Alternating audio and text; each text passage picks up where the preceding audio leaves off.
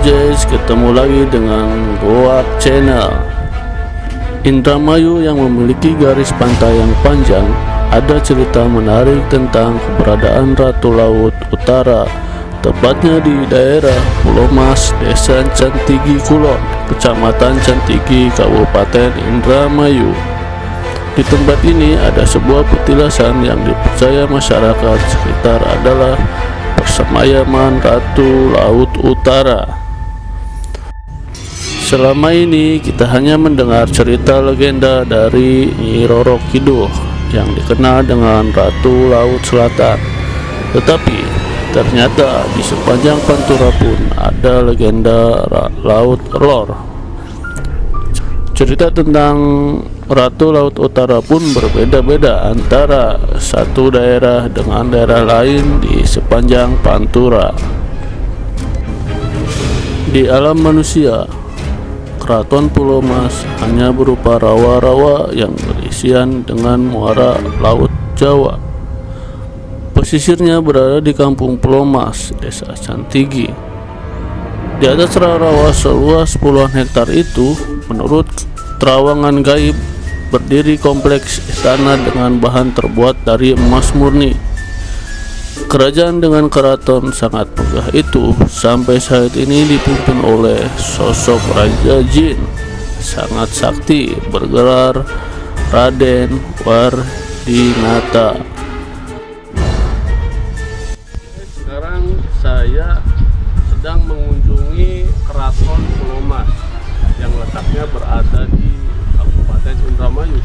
Konon ceritanya di tempat ini suka sering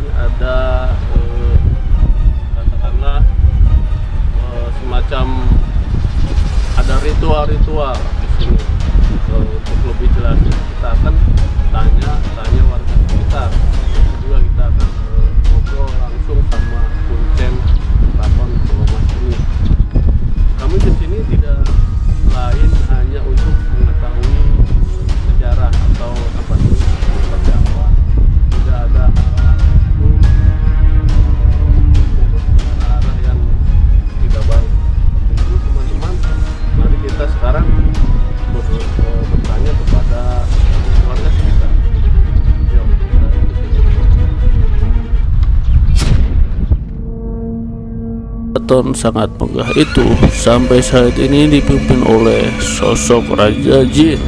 Sangat sakti bergelar Raden Wardinata. Dengan Mahapatihnya yang cukup tersohor yakni Mahapati Jongkara. Sang Raja juga dibantu Panglima Perang bergelar Panglima Kelas Renggi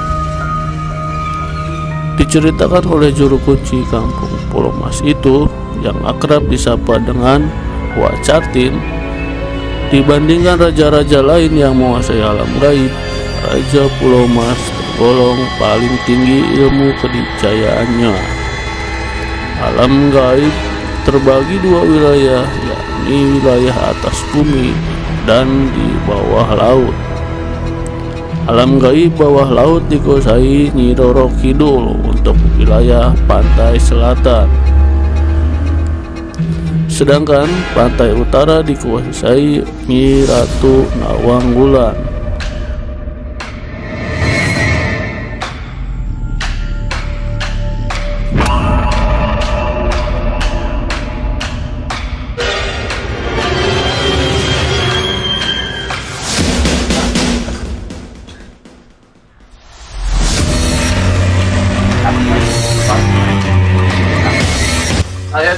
Majalengka, Pak.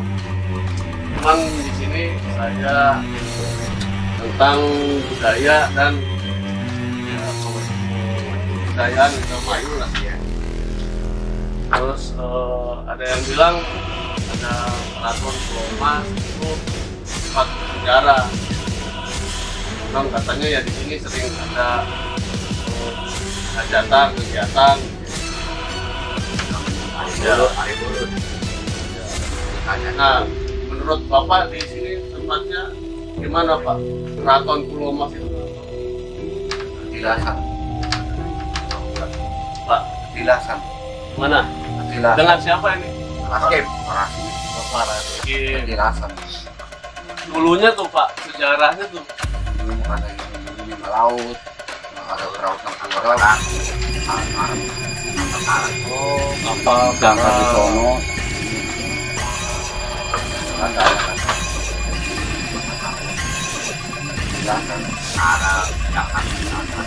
di pinggir-pinggir ini lempar. Oh, udang. Udang. Di petani udang di sini ya. Ini tamu dari mana-mana. Dari Palembang. Hmm, kalau dia Jalan-jalan, kalau corona dari. Corona Itu pulau mas itu artinya apa? Pulau pulau itu kan pulau. Emasnya berarti apa? Gimana tuh bisa ya, pulau mas? ya karena orang mimpi ke yang kuat dengan kuat ya. Mas, Pas nyepi ya, komedi ya Pak.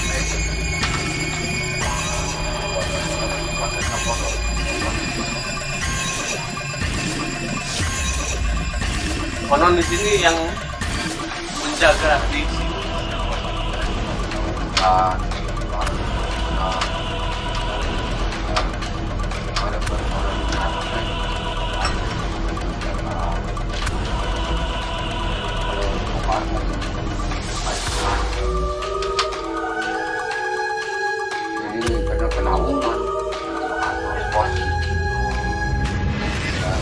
bukan tempat tinggalnya bukan ya? Mana? Ini mah kayak tempat istirahat gitu. Tempat berkumpul gitu ya Pak? Mm-mm. kan biasanya mau bayang. Negara begini dari corona. Ada dulu Jadi sini mau kalau ada wayang sana wayang Berarti mengunjung di sini ya ada kegiatan kata bumi ya di sini Oh, ada nonton, oh mengunjung ya berat, kan. Ada ayam,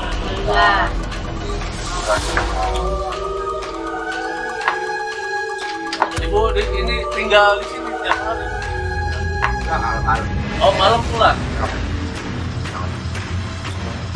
kirain tinggal di sini yang ada orang hobi. iya ibu ya makasih pak. Ya informasinya pak. kajinya ya, Kang. makasih informasi. Ini berarti juru kunci ya? Iya. iya. Makasih ya, pak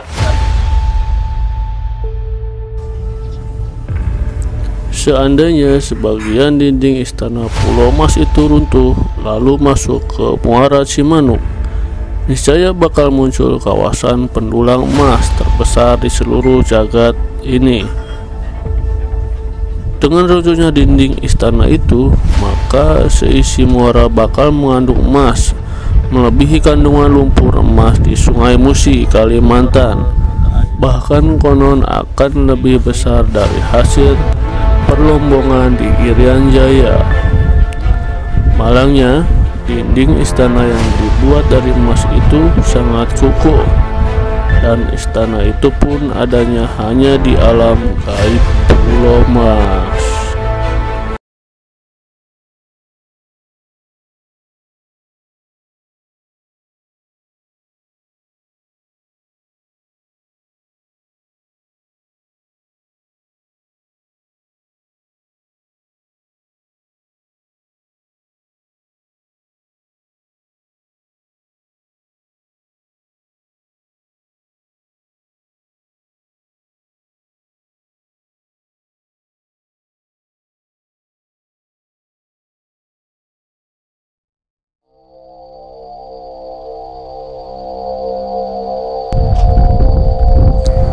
Kami diberi kesempatan pengen tahu apa aja yang ada di dalamnya.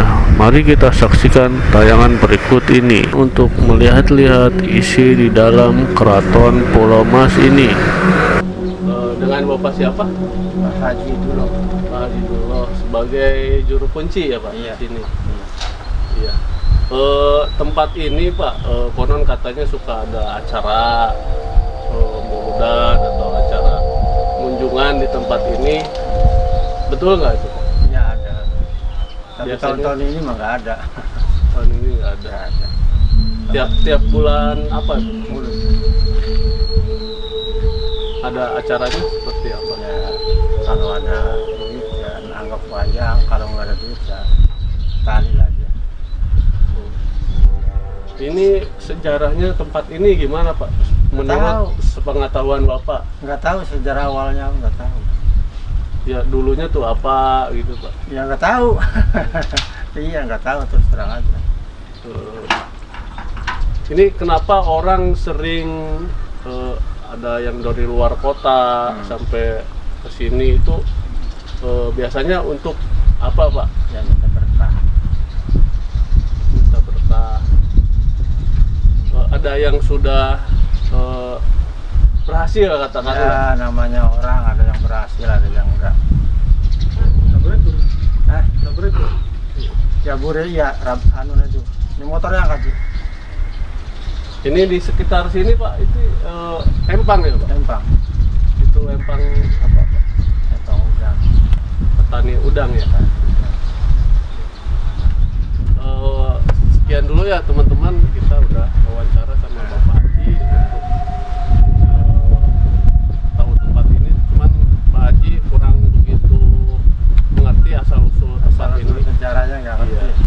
Cuman sekarang bapak cuman meneruskan ya pak? Iya meneruskan orang tua. Meneruskan orang tua dulu sebagai guru kunci. Ya. Seperti itu teman-teman. Assalamualaikum warahmatullahi wabarakatuh. Bismillahirrahmanirrahim. Dengan nama Allah yang Maha Pengasih, Maha Penyayang.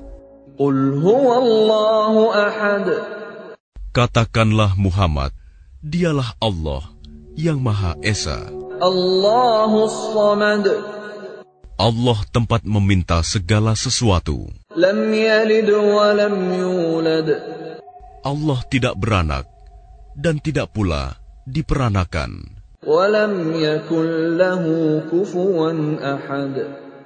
Dan tidak ada sesuatu yang setara dengan dia.